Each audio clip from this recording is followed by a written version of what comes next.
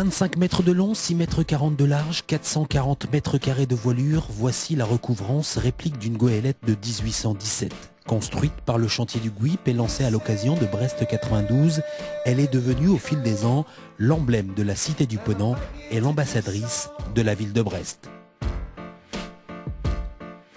On a un support euh, fabuleux de promotion de la ville de Brest, euh, y compris à l'étranger. Hein. ça va euh, de, l'Espagne jusqu'à la Baltique, passant par l'Angleterre, l'Irlande, la Hollande, l'Allemagne, Danemark, Suède, voilà un peu les pays dans lesquels nous sommes allés. La Belgique, j'ai oublié.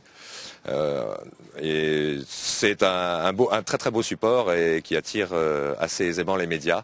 Et on compte bien s'en servir pour Brest 2008.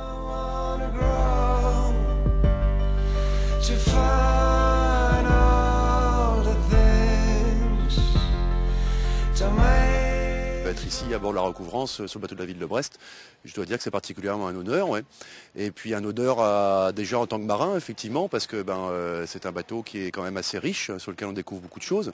Et puis euh, fierté également d'être euh, l'ambassadeur de la ville de Brest lors de nos déplacements, lors des déplacements du bateau hein, pendant sa saison.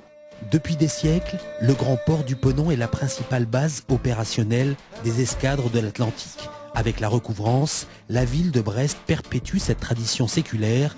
À une différence près, la recouvrance aujourd'hui sert à attirer les gens et non plus à les chasser, la marine à voile comme vecteur de communication. La recouvrance, c'est un bateau qui frappe beaucoup les esprits. Hein. Quand on se déplace, on est, euh, toujours étonné par euh, euh, le, regard qu'ont les gens sur le bateau. C'est un bateau qui est, qui est racé, qui a de l'élégance, et il est très remarqué dans les rassemblements.